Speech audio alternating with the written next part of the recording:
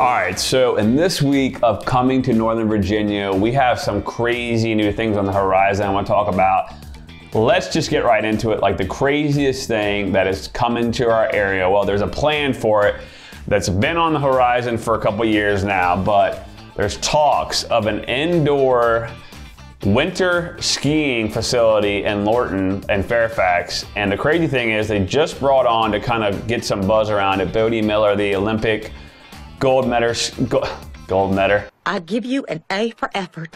The Olympic gold medal skier to bring on some things. So basically they're talking about the Lorton landfill where it's, they're literally talking about on top of it, building an indoor ski and snowboarding slalom full of like shopping, hotels, all these other things, a complete like, I don't even know, like a complete like snowboarding track, everything. They're having an open house on it this week where they talk more about it.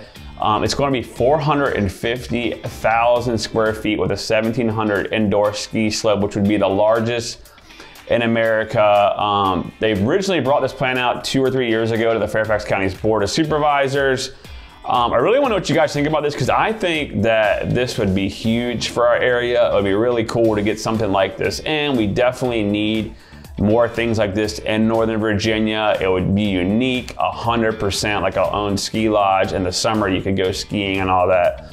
Um, they estimate that would bring upwards of half a million people to the area a year just to visit the area. So, um, and I've been to this area where they're talking about doing it. There's not much over there but the dump. So it's not like it's a bad location and it's right off 95. So let me know what you guys think. They said that once it did get approved, they would think the first phase of it would take about two years, uh, maybe even three years to build. This is such a big project. So let me know what you guys think about it. Again, I would hate to know how much money this thing would cost, but I'm sure it would bring in a lot of revenue to the county. All right, the next biggest thing, I'm gonna be talking about this all the time, I'm sure, is the new Amazon headquarters. I kind of just watch this constantly. There's always news coming around.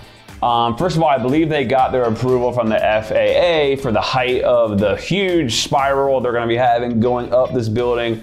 It's going to be all glass with trees going around it. So there's a few developments. Amazon recently, which we're going to show you, released some photos showing what their rendering is going to look like from the street level. And they plan on having a lot of local businesses things like that. I know a dog, uh, some kind of like dog uh, bathing place and dog sitting place already get, got in there. A florist got in there, got spaced in there.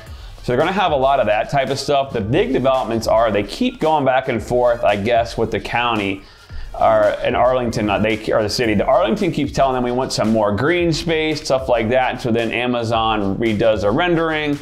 Um, and so obviously it's going to happen, but it keeps going back and forth. The other thing they unveiled was that there's gonna be a huge underground parking garage, which is gonna be you know a big ordeal. And I guess Arlington came back to them and said, hey, we want to see some crazy stuff from local artists and all that to come into the parking garage. So this thing is gonna be wild and unique. Um, Amazon has already hired 3,000 of the workers they expect to work there. Um, they have some, I think they got to get somewhere near 15,000 to 20,000 people to get the grant they're supposed to get from the state of Virginia. But at the end of the day, um, this was this is obviously going to get done. Um, there's way too much money on the line and everything like that. It's just a matter of getting through these final hurdles. But this thing is actually really beautiful. It's going to be unique for sure. I'm sure some of the COVID stuff they don't mind pushing it back a little bit. But let me know what you guys think about this. I think it's gonna be pretty amazing. And if you're one of these people coming in for Amazon, definitely hit me up. I know the area well, whether you're looking to look in Arlington or somewhere in the suburbs, all that, I can help you with that as well. But let's keep talking about the other thing. One thing I will say is I've heard some people in Pentagon City, where it's going to be located, really tell me recently that their rents are really going up. So if you're in that area, I want to hear kind of in the comments below as well. Is that something that's happened to you?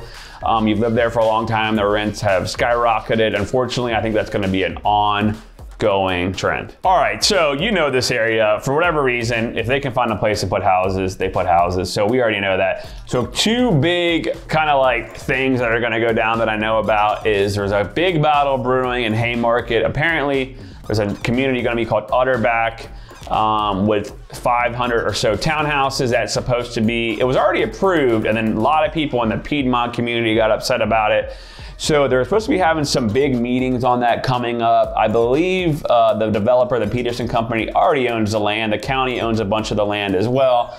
I don't see this getting stopped. Um, I think it's something that they're probably going to need that housing in the area. The land is already bought up, the roads and stuff are already put in there. So that is one. And then another one I'm following is it looks like in probably the most expensive area in our county or Northern Virginia is Brambleton. There was a 12, there was supposed to be a thing of commercial buildings going over there. Well, another developer stepped in, I believe it's Toll Brothers, and they said, you know what, we want to put 1,200 houses here, or townhouses slash condos. So that is another community because um, they believe that, you know what, there's going to be more housing over there and stuff like that. So they're supposed to be adding more retail locations as well. So, I mean, that Brambleton area at this point is becoming like the Beverly Hills of the East Coast. So I expect if that does go through, there is going to be uh, that's going to be expensive back in there. I can imagine, but something like that I think is going to take a little bit of time to get approved and everything to go through.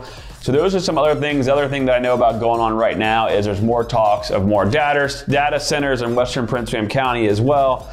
Um, that there's going to be some fighting going on, and some of the things that came up with that was there was supposed to be a Loudoun County Parkway that was going to come through Aldie all the way up through Gainesville to shoot up to Manassas that got shot down because of the battlefield. Well, now that all that land is potentially becoming data centers, everyone is saying, well, why did you close the road down, the shot down that road, and now you're going to let these data centers come in? So there's going to be talks of that coming back around the corner. Um, I think before it didn't make sense to have that road, but now it definitely does because it's going to help people from Aldie and Gainesville connect right up through Manassas to 66 and alleviate some of the traffic.